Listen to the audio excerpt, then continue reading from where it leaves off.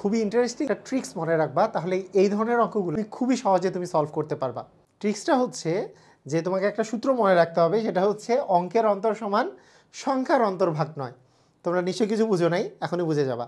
মনে করো তুমি যে কোনো একটা তুমি সংখ্যা নিয়েছো, ধরো সেই সংখ্যাটা হচ্ছে বাষট্টি।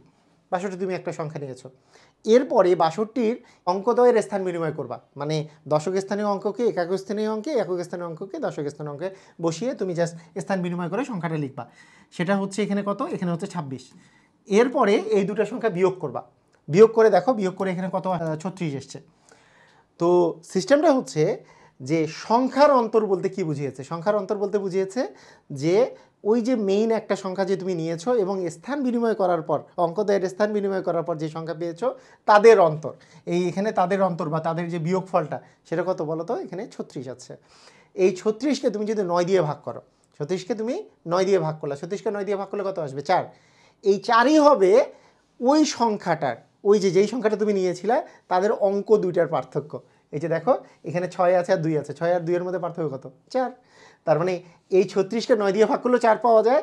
এই চারটাই হচ্ছে এই অঙ্কদয়ের মধ্যে ডিফারেন্স এটা খুবই ইন্টারেস্টিং কিন্তু এবং এই জিনিসটা, যেমন তুমি একটা সংখ্যা নিলা, মনে করো আটাত্তর। আটাত্তর একটা সংখ্যা নিলা। অঙ্কদয়ের স্থান বিনিময় করলে তুমি কত পাবা? পাবা হচ্ছে সাতাশি। তাহলে সাতাশি থেকে তুমি আটাত্তর বাদ দাও। সাতাশি থেকে আটাত্তর বাদ দিলে পার্থক্য কিন্তু নয় আসতেছে। তার মানে এই নয়কে, আমরা তো কিন্তু পার্থক্য নয় পাইছি। এই নয়কে আমি যদি নয় দিয়ে ভাগ করি, এই যে সংখ্যার অন্তর্ভাগ নয়। নয়কে নয় দিয়ে ভাগ করলে কত আসে? এক। দেখো যে সংখ্যা দ্বয়ের অন্তরও কিন্তু এক। মানে এই যে আট থেকে সাত বিয়োগ করলে এক আসে। প্রত্যেকটার ক্ষেত্রে এটা প্রযোজ্য। তো এই জিনিসটা যদি তোমার মনে থাকে, তাহলে যে কোনো অঙ্ক তুমি খুবই তাড়াতাড়ি করতে পারবা। যেমন দেখো, এখানে কোশ্চেনটা দেখো। এখানে যে কোশ্চেনটা দেয়া আছে, সেটা একেবারে আমরা যেই আমরা যেই জিনিসটা শিখলাম সেটাই। যে দুই অঙ্ক বিশিষ্ট একটি সংখ্যার অঙ্কদ্বয়ের স্থান বিনিময় করলে।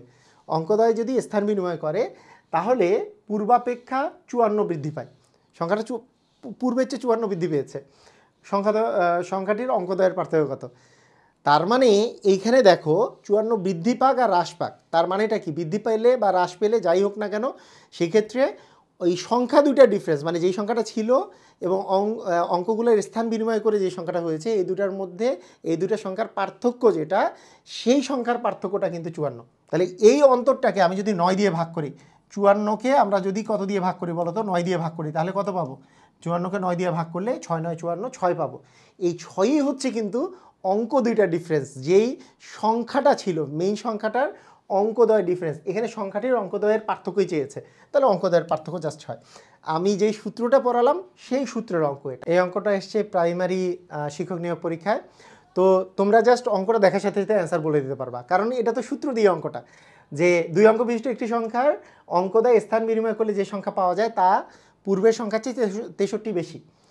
মানে তেষট্টি বৃদ্ধি পেয়েছে। তো সংখ্যাটির অঙ্কদয়ের পার্থক্য কত? আমি কি বলছি? তেষট্টি বৃদ্ধি পেয়েছে মানেটা কি আসলে? যে মেন যে সংখ্যাটা আছে আর স্থান বিনিময় করে যে সংখ্যাটা পেয়েছ, তাদের মধ্যে পার্থক্য হচ্ছে তেষট্টি। তাহলে ওই অঙ্ক দুইটার মধ্যে পার্থক্য কত? আমাদের সূত্রই তো বলে অঙ্কদয়ের ডিফারেন্স ইকুয়াল সংখ্যাদয়ের ডিফারেন্স ভাগ নয়। সংখ্যার ডিফারেন্স আসে তেষট্টি, তাকে নয় দিয়ে ভাগ করলে সাত, নয়, তেষট্টি। তারপরে সাত হবে অঙ্কদয়ের মধ্যে পার্থক্য। তাহলে দেখো, কত ইজিলি তুমি কিন্তু অ্যান্সার করে ফেলতে পারলাম। এই কোশ্চেনটা খুবই ইম্পর্টেন্ট একটা কোশ্চেন এটা এসছে প্রাইমারি সহকারী শিক্ষক নিয়োগ পরীক্ষায়।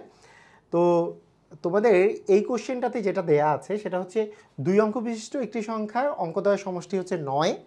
অঙ্কদয় স্থান বিনিময় করলে যে সংখ্যা পাওয়া যায় তা প্রদত্ত সংখ্যার চেয়ে সাতাশ বেশি সংখ্যাটি কত? তো তুমি দেখো অঙ্কদ্বয় সমষ্টি নয় মানে সংখ্যাটা যেটা আছে তাদের অঙ্কগুলো সমষ্টি যোগ করলে নয় হবে। তাহলে এখানে দেখো, এখানে আছে একাশি। তাহলে একাশি যে সংখ্যাটা আছে, একাশির আট আর এক যোগ করলে নয় হয়। পঁয়তাল্লিশের চার আর পাঁচ যোগ করলে নয় হয়, দুই আর সাত যোগ করলে সাতাশের নয় হয়, তিন আর ছয় যোগ করলেও কিন্তু নয় হয়। তার মানে এই অপশনটা যে আছে, এই এই ইনফরমেশন দেওয়া আছে যে অঙ্কদয়ের যোগফল নয়, এটা দিয়ে এখানকার একটারও কিছু করা যাবে না। দ্বিতীয় ইনফরমেশন হচ্ছে স্থান বিনিময় করলে সংখ্যাটা পাওয়া যায় হচ্ছে সাতাশ। তাহলে তুমি এখন কি করতে পারো?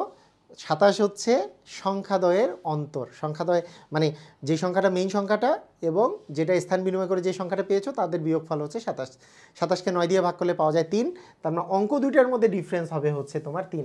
তার মানে এখানে অ্যান্সার যেটা আমরা দেখব যে অঙ্ক দুইটার মধ্যে ডিফারেন্স মানে আট আর একের মধ্যে ডিফারেন্স এখানে সাত, পাঁচ আর একের মধ্যে চারের মধ্যে ডিফারেন্স হচ্ছে এখানে এক।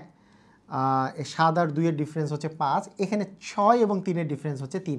তার মানে অঙ্কদয়ের পার্থক্য হচ্ছে তোমার তিন যেহেতু হবে, কারণ সাতাশ আছে, সাতাশকে নয় দিয়ে ভাগ করলে পাওয়া যাবে তিন।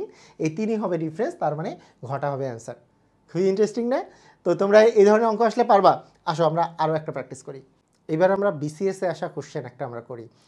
খুবই সহজ একটা কোশ্চেন তো দুই অঙ্ক বিশিষ্ট একটি সংখ্যা, তাদের অঙ্কদ্বয়ের স্থান বিনিময় করার ফলে চুয়ান্ন বৃদ্ধি পায়। অঙ্ক দুটির যোগফল বারো হলে সংখ্যাটি কত? দেখো ফার্স্টেই একটা জিনিস খেয়াল করো, অঙ্কদ্বয় স্থান বিনিময় করার পর যে সংখ্যাটা হয়েছে, সেটা আগের চেয়ে চুয়ান্ন বেশি। তার মানে ওই যে মেইন সংখ্যাটা আর অঙ্কদ্বয়ের স্থান বিনিময় করে যে সংখ্যাটা হয়েছে, সেই দুটার সংখ্যার পার্থক্য কত বলো তো? চুয়ান্ন। সেটা চুয়ান্ন বৃদ্ধি পাক আর হ্রাস পাক কোনো সমস্যা নাই, পার্থক্য চুয়ান্ন, এটা আমরা বুঝলাম। তাহলে আমাদের ফর্মুলা কি বলে? ওই সংখ্যাদ্বয়ের যে পার্থক্যটা আছে, যেটা চুয়ান্ন, একে জাস্ট আমি যদি নয় দিয়ে ভাগ করি, তাহলে পাচ্ছি ছয়। সেটা হচ্ছে সংখ্যাদ্বয়ের অঙ্কদ্বয়ের বিয়োগফল, অঙ্কদ্বয়ের অন্তর। আবার বলা আছে অঙ্ক দুটির যোগফল হচ্ছে বারো। তার মানে সংখ্যাটার অঙ্ক দুইটা যে আছে, অঙ্ক দুইটার যোগফল হচ্ছে বারো। এখন বলছে সংখ্যাটি কত? এখন খুবই সহজ। দেখো, এগুলোর সবগুলোতে এই যে ক নাম্বার অপশন দেওয়া আছে, সাতান্ন। তাহলে এখানে পাঁচ আর সাত যে আছে, এদের যোগফলও কিন্তু বারো হয়। এখানে আছে পঁচাত্তর, সাত আর পাঁচ যোগ করলেও বারো হয়। তার মানে কি? যে যোগফল যে বারো, এটা সবগুলোর ক্ষেত্রে প্রযোজ্য। কিন্তু আমাদের যে আরেকটা শর্ত আছে, তাদের অন্তরফল হচ্ছে ছয়। মানে তাদের বিয়োগ করলে তুমি ছয় পাবা। তো সাত আর পাঁচ বিয়োগ করলে তো ছয় পাওয়া যায় না। তার মানে এটা অপশন হতে পারে না। এটাও অপশন হতে পারে না। সাত থেকে পাঁচ বিয়োগ করলে ছয় না। তার মানে গ বা ঘয়ের মধ্যে একটা অ্যান্সার হবে। এখন জাস্ট তুমি চিন্তা করো। সেটা হচ্ছে যে অঙ্কদ্বয়ের স্থান বিনিময় করলে সংখ্যাটি চুয়ান্ন বৃদ্ধি পায়। তার মানে যেই সংখ্যাটা এখন আছে, যেই সংখ্যাটা চেয়েছে, সেটার স্থান বিনিময় করলে চুয়ান্ন বেশি হয় মানে বাড়ে। তাহলে বলো তো, তুমি যদি তিরানব্বই নাও, তাকে যদি স্থান বিনিময় করো, সেটা তো উনচল্লিশ হবে, তাহলে কি চুয়ান্ন বৃদ্ধি পাবে না হ্রাস পাবে? তার তো হ্রাস পাচ্ছে, কারণ এই তিরানব্বইয়ের চেয়ে তো উনচল্লিশ ছোটো, কারণ তিরানব্বইকে উল্টায় লিখলে আসবে উনচল্লিশ। স্থান বিনিময় করলে যেটা হবে, সেই সংখ্যাটা কিন্তু আলটিমেটলি হ্রাস পাচ্ছে। তার মানে হান্ড্রেড পার্সেন্ট এটা হচ্ছে তিরানব্বই না, এটা কিন্তু উনচল্লিশ কারণ উনচল্লিশকে স্থান বিনিময় করলে নয়টা সামনে, তিনটা পরে আসবে, তিরানব্বই হবে, সেটা কিন্তু তোমার বৃদ্ধি পাচ্ছে, সেটা চুয়ান্ন বৃদ্ধি পাবে। কথা কি বুঝেছ? ক্লিয়ার